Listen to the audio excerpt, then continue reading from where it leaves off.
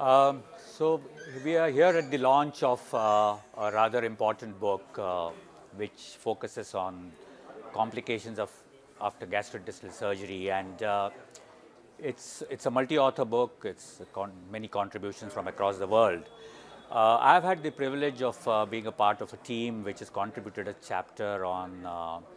how surgeons in low and middle income countries manage uh, complications of GI surgery, which is a particular challenge because we have limited resources and limited backup. So um, that's the chapter that I've contributed to, and uh, I just had a look at the book, and it's uh, it's something that uh, was needed. It is covers the entire spectrum of uh, of problems, and we look forward to being received by the surgical community in general.